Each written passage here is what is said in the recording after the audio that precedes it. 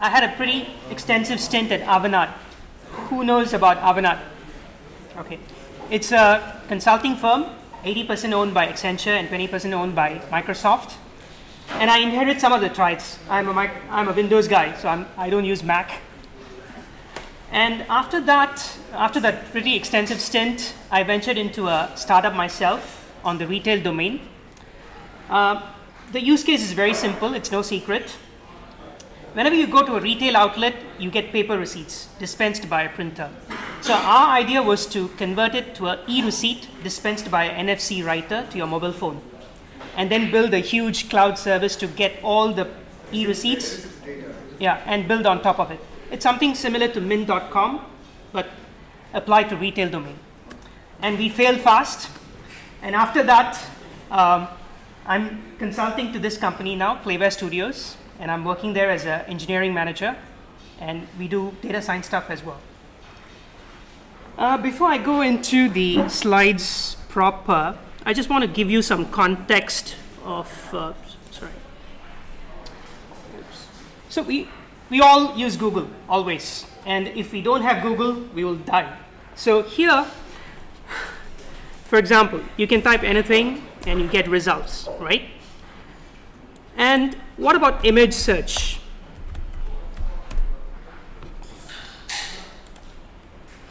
And you remember there is a little nifty icon there. So you can click on it. And you can, you can paste a URL or you can upload an image. So I'm going to upload an image now. So let's say, let's take this, this image. So there you go. So basically it says that this is the image and this is the size of the image. And it tries to identify the image, which is a bag. And then it gives you similar bags. I mean, like, which is nearest to that particular image. These are the nearest images to the bag. It identified the brand as well. Yeah, sometimes. It's very basic. And think about how much resources would have gone in, how much uh, uh, machine learning code, how much infrastructure would have gone in to build this whole big search engine, especially with respect to image. Keep the thought aside. Uh, let me move on to the slides now.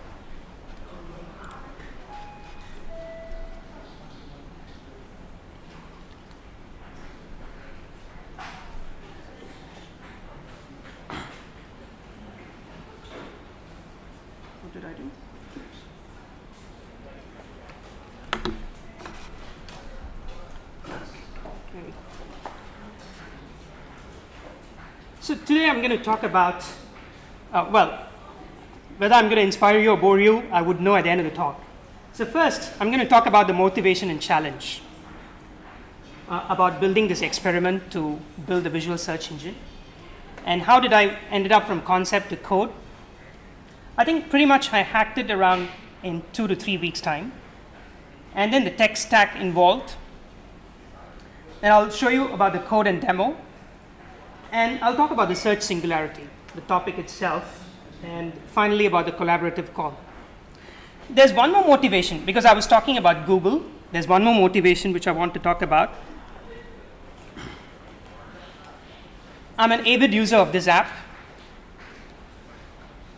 So I think you have a lot of, you may have a lot of things in your home which you want to declutter and you want to sell away.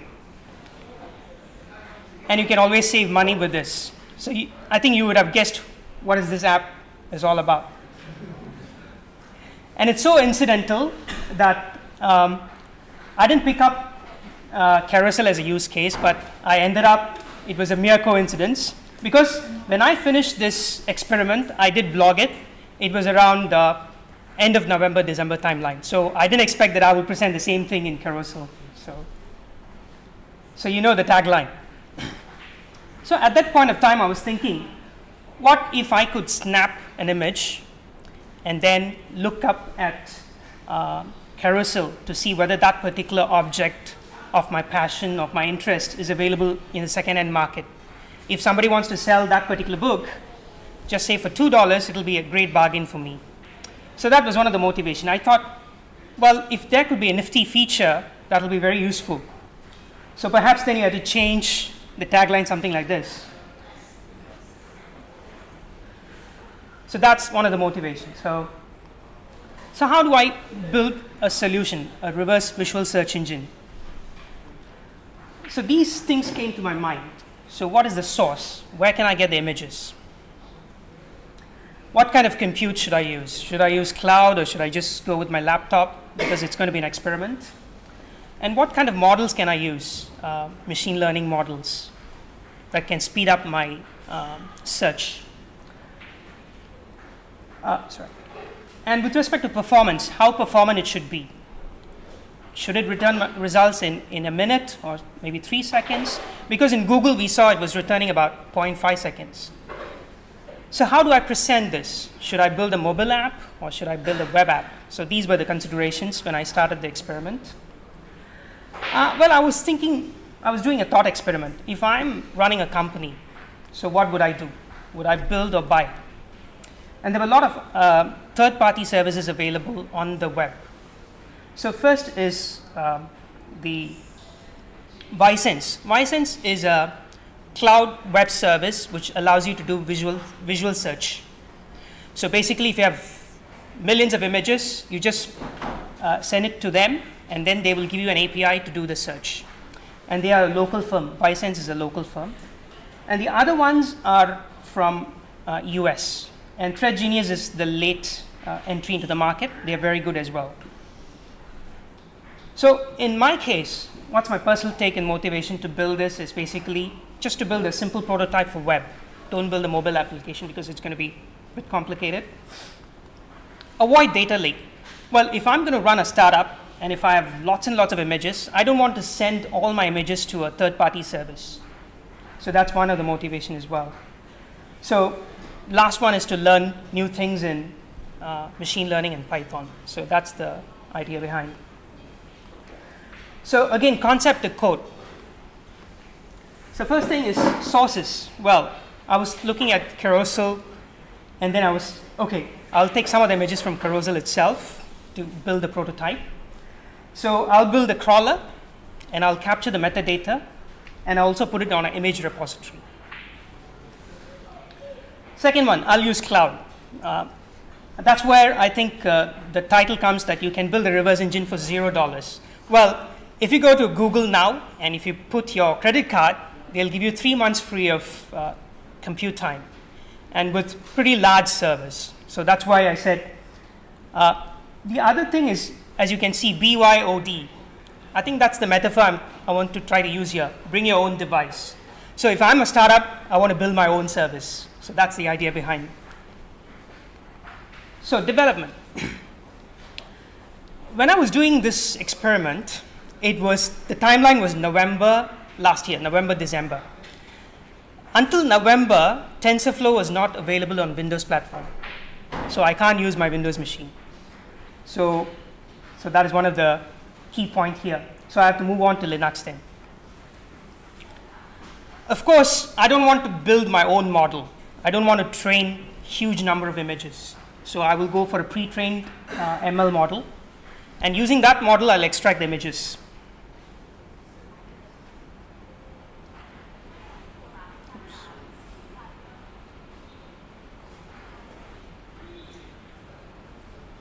Sorry.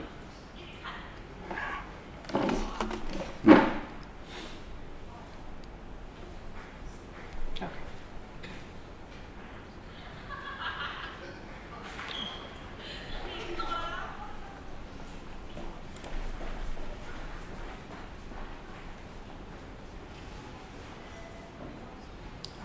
Okay.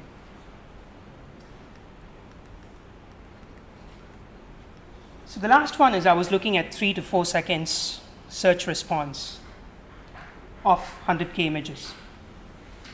And how do I do the web UI? So I wanted to learn on Python Flask. Uh, sorry, I'll come back to that. So basically, it should allow you to uh, upload an image, something similar to Google, and then it should allow me to crop the image. Whenever you, you take a photo, it's going to be huge. Maybe you want to focus on a particular area, so that's where you should have a cropping functionality. And it should also check for appropriateness. Sometimes, uh, if you're going to build a commercial service, somebody's going to upload certain inappropriate content, so it should flag whether it's appropriate or inappropriate. Well, um, tech stack. Um, well, the crawler is built on Python, pure Python code, and I'm using SQLite as my image repository. Uh, Linux file storage to keep all your image files and index files. Well, uh, I used Cloud, Google Cloud. It gave me three months free trial. Uh, I settled upon Ubuntu Linux VM. So I have no choice. I don't have a Mac, so I have to go with that.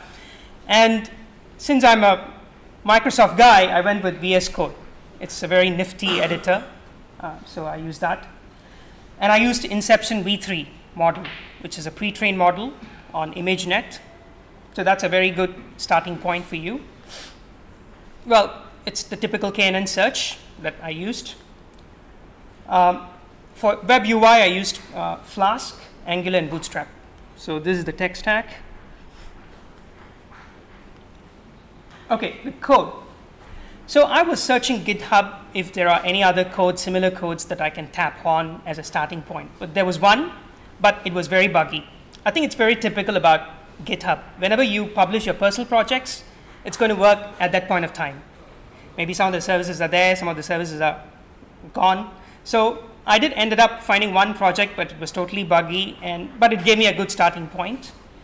But but the whole code is available here, so you can go here and you can download the code. And there's also a blog which details all the thing. So I'm just going to give you a brief uh, how how the code is organized. Basically, there are two Python files. So the first one is to extract um, uh, features from your images. And the second one is to do the crawling. So the web app is under app code, and you have all the settings under this file. Uh, this, this allows you to run your web app on the web. Uh, uh, this is very important. The network.protobuf file is the Inception v3 protobuf file. So this is basically the pre-trained model, a protobuf file given by Google. And the last one is your uh, database, your SQLite database. So I'll just briefly run through the crawler before I go into the code and show you how uh, the images are crawled and stored. Yeah, when I started and uh, I was looking at this uh, Carousell app, I wanted to know how images are served in the mobile app. So pretty much uh, you have to do a bit of reverse engineering hack and then um, you look at how the API is serving the images. So what you do is basically you take your Android phone, you set up your fiddler, and then you can see what is going in and around. So that's how you, you find out what's the API signature. Well, after finding out the API signature, what I did is I just uh, built an iterative routine to fetch the images of that API. Um, how do I fetch the images? Basically, you use the request.get and you pass the return JSON and you fill the SQL 3 sorry, SQLite 3DB. Uh, well, I, I designed the crawlers to be idempotent. So whenever there is an issue in your crawler, just crash or whatever it is. You just go and re restart it again. So it'll, again fetch all the images. If the image is already there, it won't fetch. And I assume that there is only uh, JPEG and PNG images are served by the API. Yeah, so these are the modules that I used in Python. So request, JSON, yeah, you are in there. What I'm going to do is um,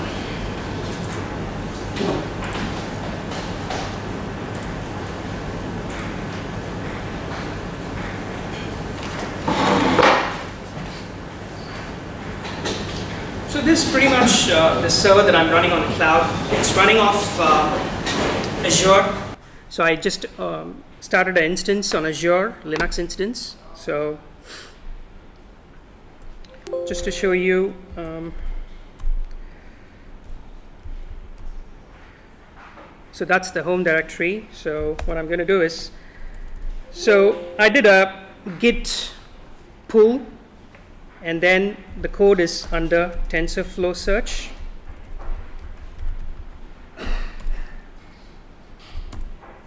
So what I told you, the organized, how it is organized. So basically you have your crawler here and your uh, inception.py will be having your indexer. Your settings file is here. Um, and your app code, which is your web app, is over here. So what I'm going to do now is I'm going to run the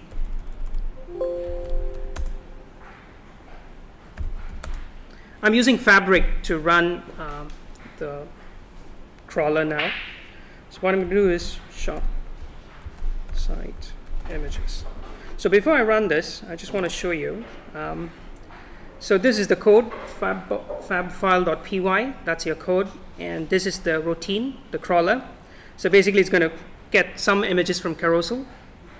So, so this is how, I think this is the API and a couple of things. I'm going to insert whatever images I'm going to get into SQL 3 uh, LiteDB. So the code is going to run and fetch um, whether it's PNG or JPEG images, and then it's going to push it to the uh, SQLite DB. And there's one more thing. What you can do is um, there's a settings um, which allows you to like do the steps. So how many iterations, how many collections you want to do. So those things you can set it here. So I'm, I'm going to simply say sudo fab shop site images. So it's going to just download all the images and it's going to just push it to the SQL um, SQLite DB. So for this case, for the trial, for the demo, I just downloaded about 45 I mean 50 images it processed. There were some issues on five images, so 45 images came in. So the images will normally go to,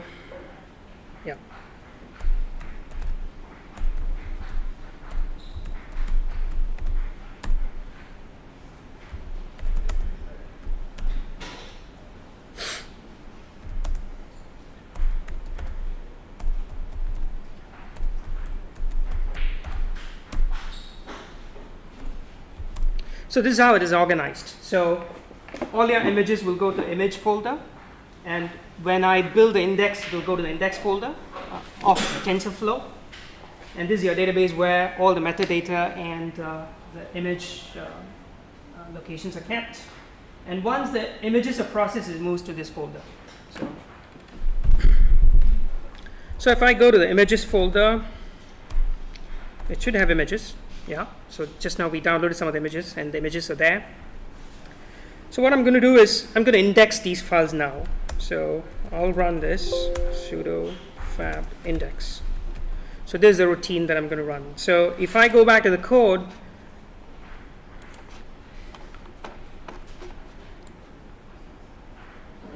oops, oh, index. Ah, here you go. So this is the index routine. So basically what's going to happen is, so all the images that I've shown in that particular folder, it's going to run through TensorFlow, and then we're going to extract features from the images, and then we're going to store it as index files. So this is the routine which is going to run. As you can see here, uh, basically we're going to load the inception protobuf file, and then um, for each of the images, we're going to extract the features. So that's what I'm going to run. So, oops. Oh, okay, my location is wrong.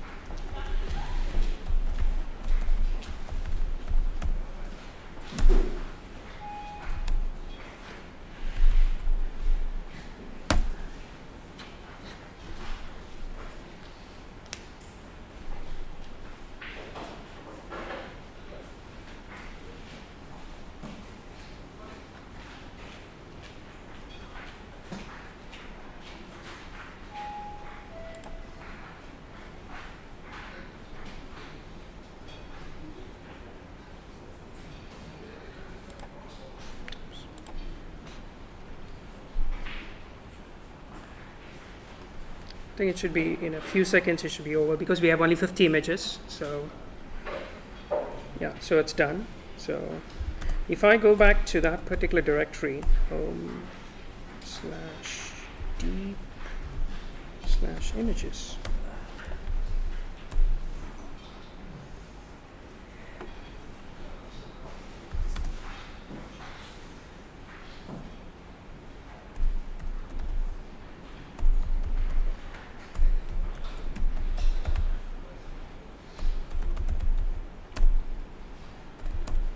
So they're all gone. So if you move to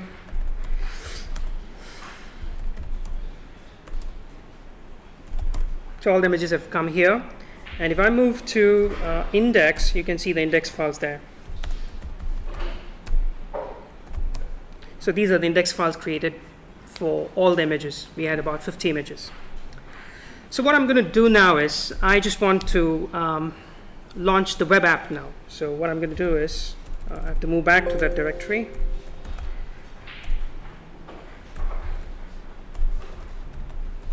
So flow search. So sudo in sudo fab. So server. So this should launch. This will launch the web app. So essentially it has loaded all the NPY files, basically all the index files that we built out of TensorFlow. Okay, this machine, this, uh, as you can see here, the tri-core machine is a, is a Azure machine. So what I'm going to do is, I'll just go back to my uh, server. So this is the IP uh, where the machine is being there. So I'm going to run this.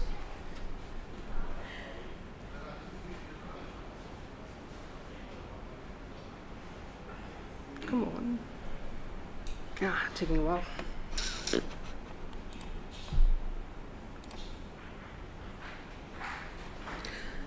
Um, okay. So as it is running, perhaps um,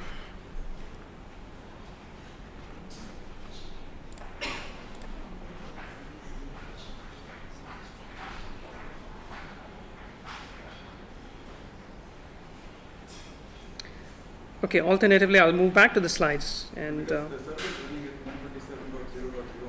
oh no, no, that's locally because when you run, when you launch your.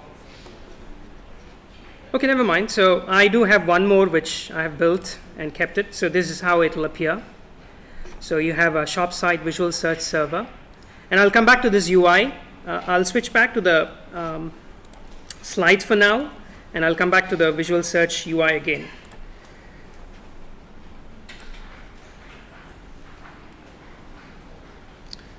So just now I showed you, um, oops, okay. Just now I showed you uh, the TensorFlow's uh, pre-trained model, the protobuffer file that we use to train and extract the features.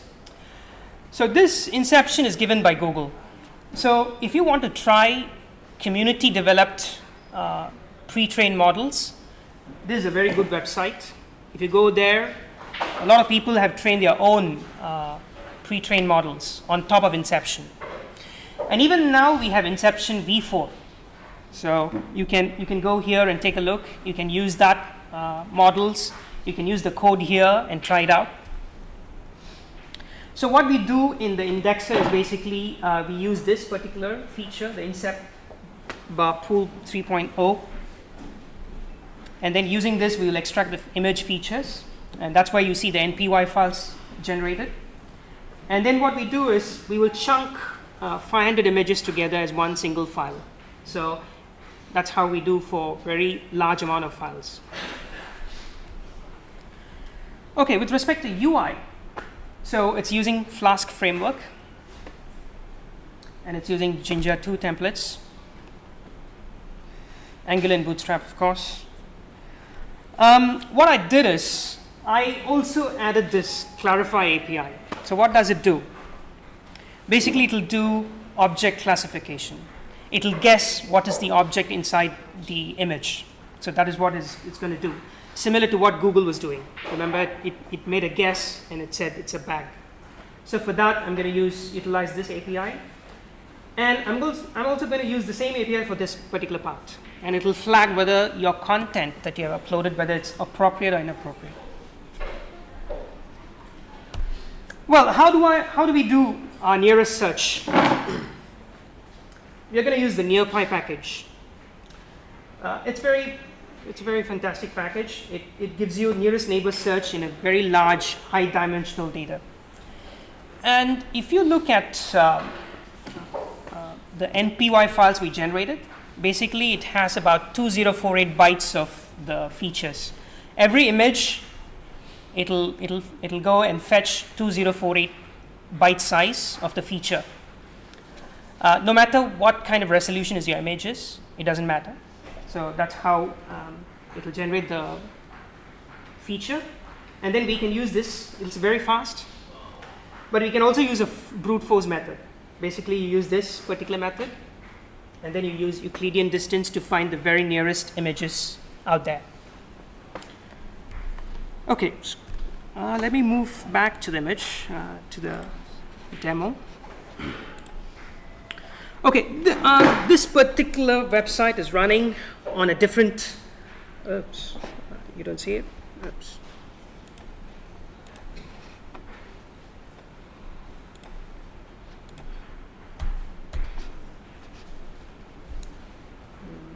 How do I escape?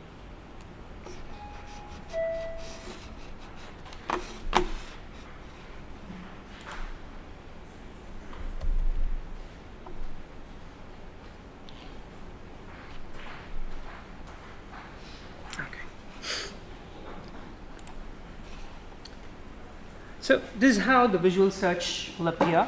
And actually, I'm running one more app on a different, uh, a different Azure Linux machine over there.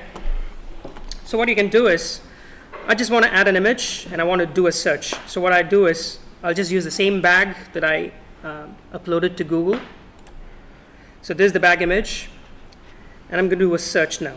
So the approximate search is the fastest search that we saw just now and the search by image is the brute force search. So I'll do this now. So this is how the bags that you get, the nearest images for that. And the other feature that I spoke about is um, the image tags. As you can see, it has detected that it's a bag, luggage, leather, whatever. And uh, it managed to do the search in in 2.5 seconds. Google was 0.5 seconds, so we can't match them. So the approximate was finished in 1.6 seconds. Um, ah, the inappropriate content is here. So it gives you a probability that this content is appropriate, 0.99. Uh, perhaps if you, if you try yourself with some other images, then you can get the appropriateness. So uh, the next thing is I want to do the search by image and let's see. It's more better, but it takes more time. So what I can do is I can exclude some of the content here. I want to focus on a particular area. I can say that I don't want this particular area. And then uh, I will do a search now. So it's going to exclude that particular part. Maybe I should use some other image. Let's try to add some other image. Um,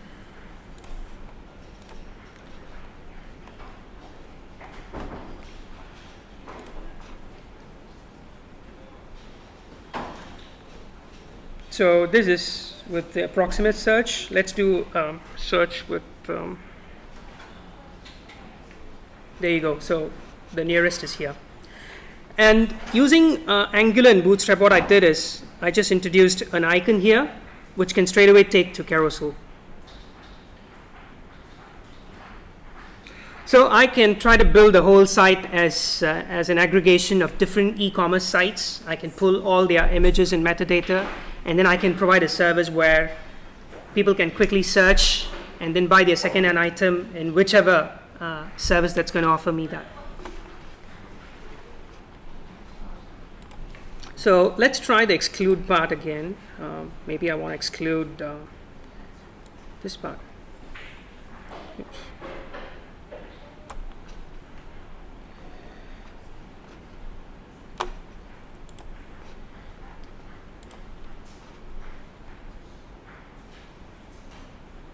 Mm, okay, so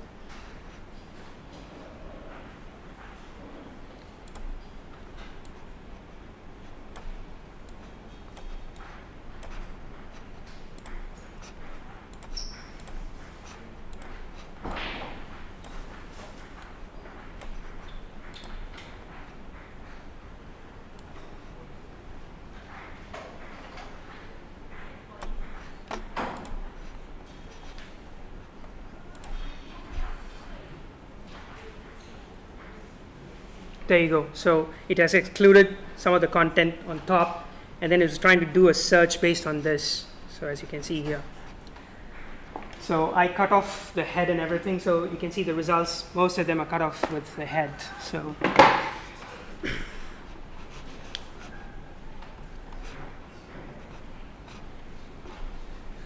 Switch back to my thing. Okay.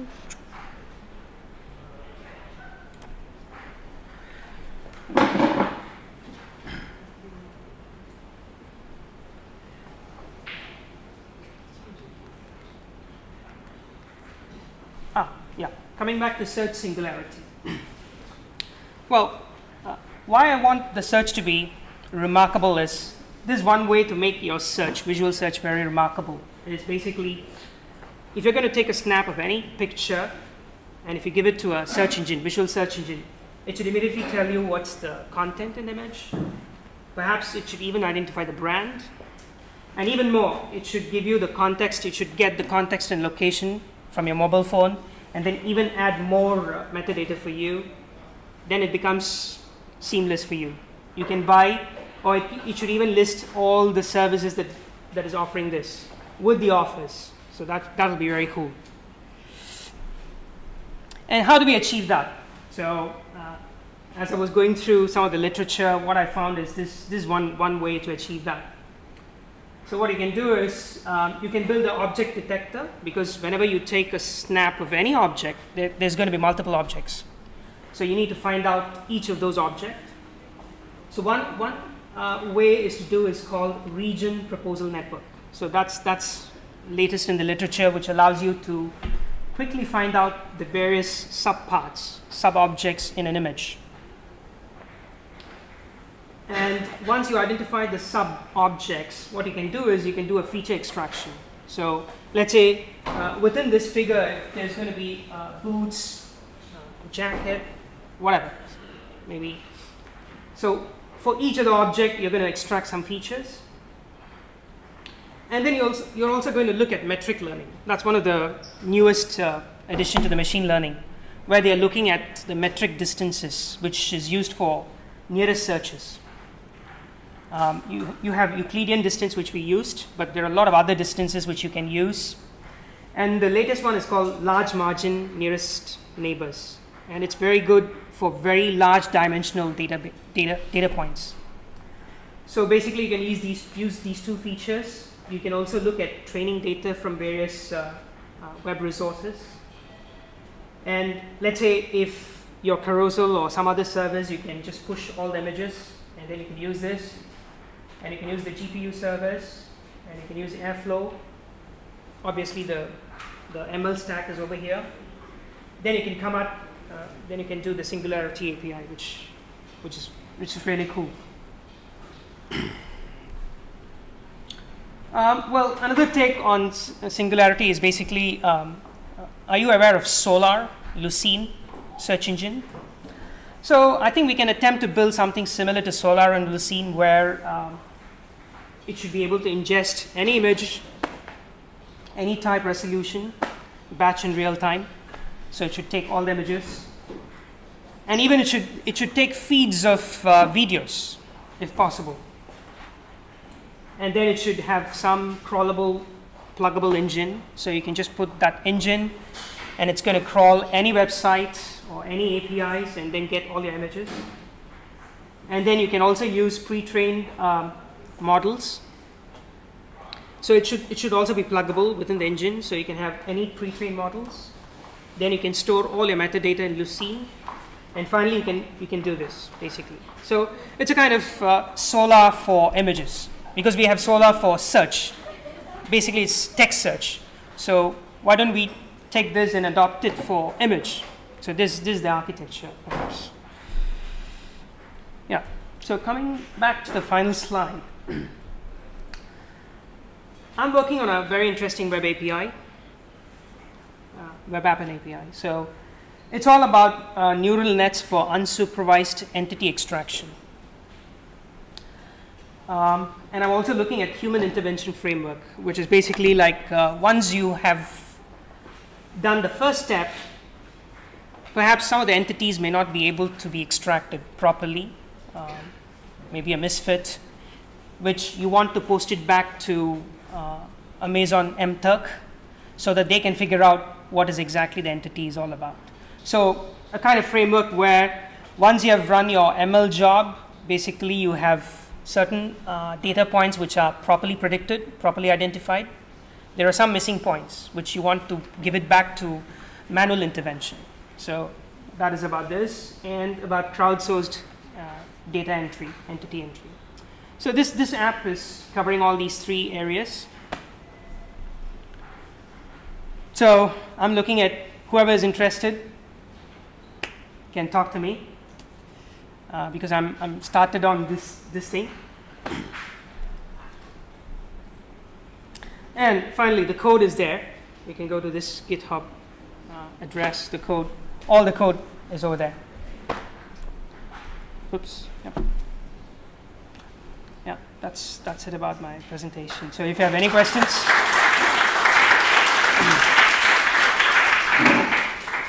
you try this one with the Google's Vision API, extracting the objects and things from No, I didn't. Uh, because I want to learn TensorFlow and I don't want to uh, leverage on all the APIs which I listed as well. Like uh, Google, Google provides its own engine to extract, but ViSenze and those trade, um, yeah. So those are the ones where, where you, you push your image and they will do the stuff. But I didn't try that.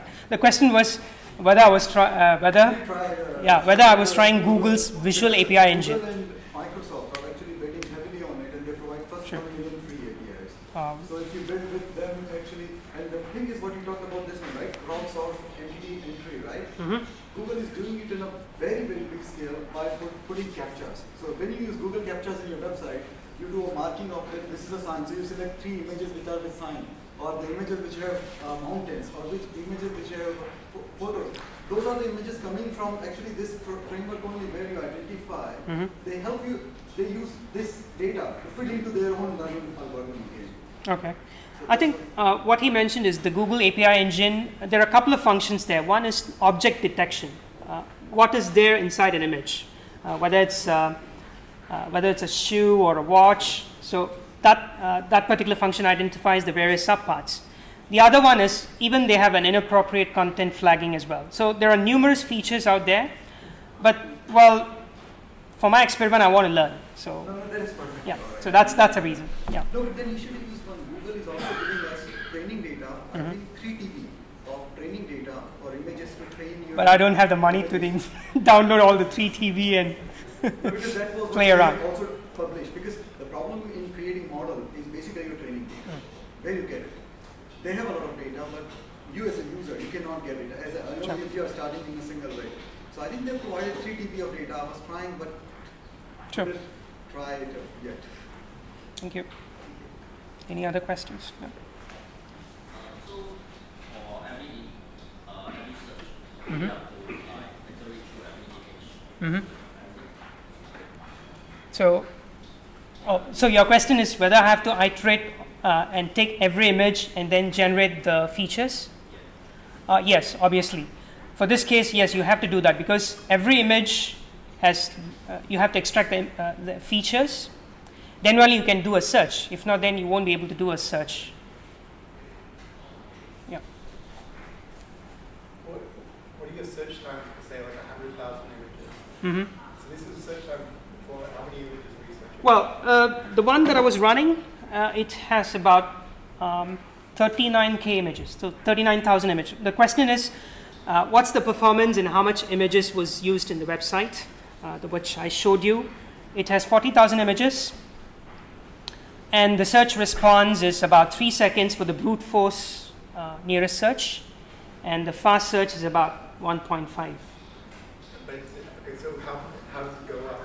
Is it going up exponentially? If you've got suddenly now you've got, you know, 120,000 images. Oh yeah, okay. So coming back to that, uh, what happens if the image size is going to get larger and larger?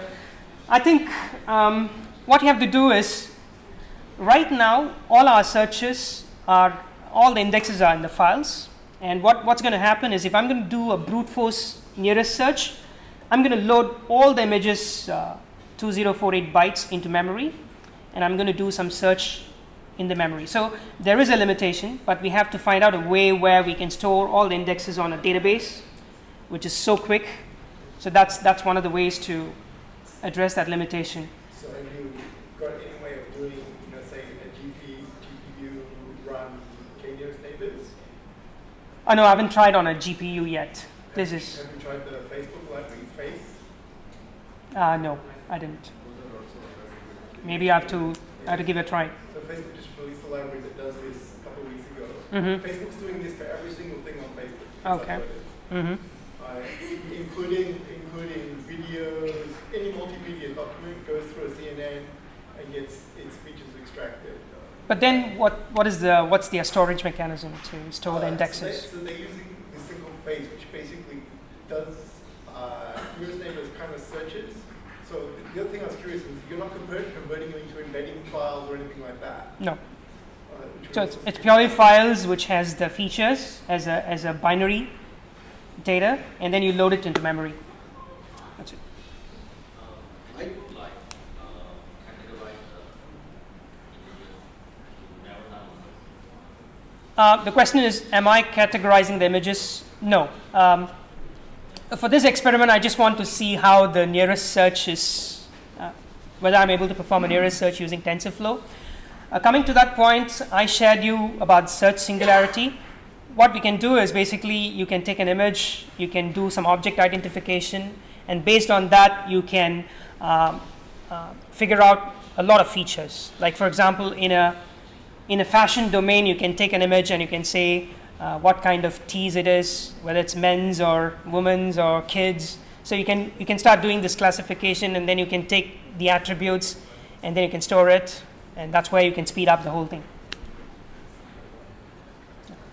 did you see one experiment in which one guy put a TensorFlow model on a Raspberry Pi and did a, there is a video, right? Mhm. So he put a camera module on the Raspberry Pi and in real time it can detect the moving train in the image and give a 90, uh, I think he tried three times so he trained the model.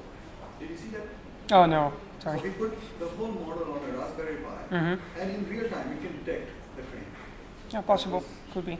Actually, that was pretty interesting. I saw that one, and, and because Raspberry Pi doesn't have that computing power, Mm-hmm. but it was able to do in real time. That But- was was. Yeah, incidentally, uh, tens. that can recognize that it's a train. Because there are the chances of getting a bus passing by because there's a road nearby.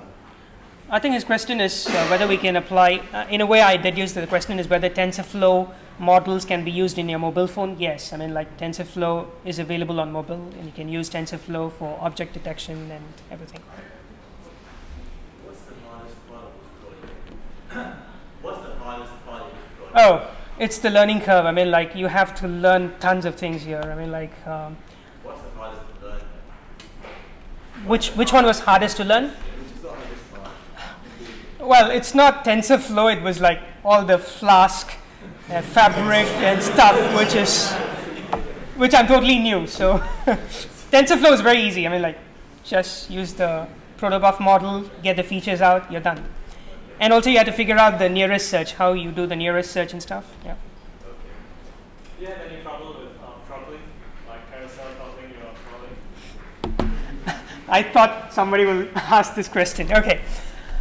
Um, there was no issue on throttling, but you guys need to put a check uh, whether you're uh, sending back your API results very quick. And you have to put the throttle check in your API to see whether the requests are coming from one particular IP address very, very fast. Then you should just stop that IP. Rate limiting anything else. Don't serve results anymore. Just stop it. That's a good way. I mean, like, so you don't allow people to go and scrap as they want. No, but I think they, they, they stop scrapping by putting a policy.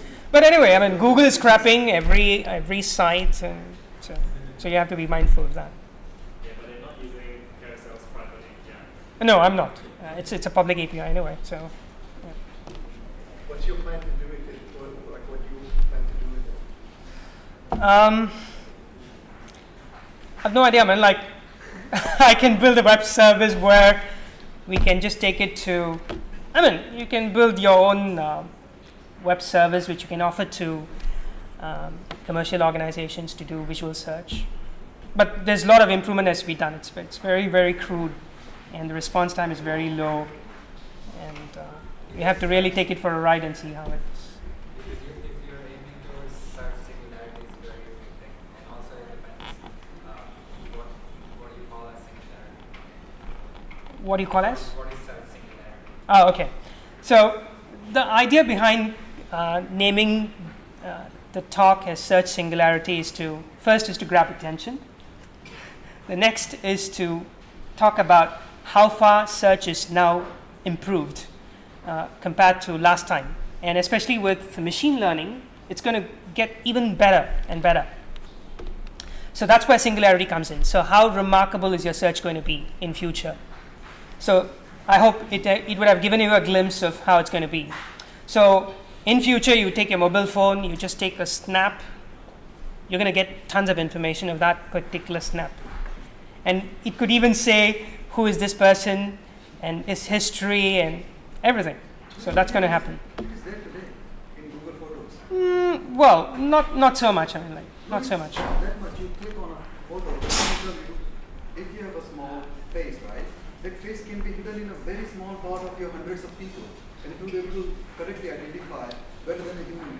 Uh, no, we are talking about more domain oriented. I mean, like we can take this whole concept and apply to um, um, uh, a fashion domain and make sure that your search is so accurate, which Google has not done yet. They are very generic now, so you can you can you can take it to different different domains and uh, make it more and more better. So,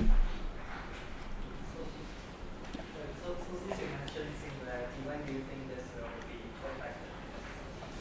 No, it's always on. It's it's ongoing. It's it's always evolving. There's no uh, perfection for anything. I mean, like if you take any any endeavor in life, uh, any process, obviously accuracy will keep improving. I mean, like uh, right now, I mean, as you saw, we did the search, and if the features are very exact, it's okay. If not, sometimes you get very bizarre results as well. Yeah. So that is the, that is where you have to improve upon.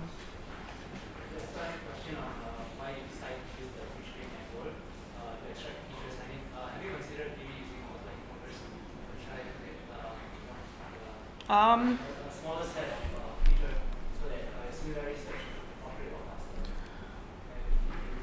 Well, honestly, I did. I didn't want to experiment more on the on the uh, extra features because I thought I'll make the application complete first to make it run. Perhaps next iteration I would look at auto encoders and uh, all these stuff. Yeah. So Since you started with Google, uh, you rate Azure, why, what is it? Oh no, uh, I just want to give you an option where uh, the question is uh, why did I use Google uh, model, right? Google pre-trained model rather than other models. Well, if you're going to use TensorFlow, the official model that is available is like Inception. Uh, V3 is the latest model from Google, which is very easy to use and quick. Um, what I listed here is perhaps there are other options as well. I mean, like um, people in the community have, have took Inception V3 model, and they have uh, trained it better for certain domains. So if there is a model available for fashion domain, if I'm going to use this service for fashion, I could very well go to the community and take that model and apply it and see whether if, it, if it's going to give better results, I would rather use it rather than train myself from scratch. So the idea is to give you an option where there are uh, community models are available as well. And of late we have uh, Inception V4 also coming, coming. Anything? Any more questions? Yeah, there's one. Did you uh, compare it to any of the other uh, services that you listed in the beginning? Oh, I didn't. I didn't. Uh, th- well, the question is, did I compare my service, the performance, with the other service I listed? Well, I just want to give you an idea. Like this, is very rudimentary. This is very. I, I understood your Yeah. part, but just for how did it look? Did you even have the curiosity? No, I thought why sh- no the the basic premise that I listed is BYO BYOS. So why don't you build your own service rather than depending on somebody else? So that's the idea. So I didn't compare. Um, but again, if you want to do comparison, then you have to go and get their APIs. Then you have to push your image, and then you have to. I mean, there could be some trials, but ViSenze is not giving a trial. Um, IQnect, all the services are not giving trial. So except Clar- Clarifai, Clarifai, that one gives uh, a trial. So that's why I'm using the trial to, to do the object detection. So most of the services are very enterprise oriented. So you have to pay them to get your. So I can't compare. Yep. So thank you. That's it. So thank you.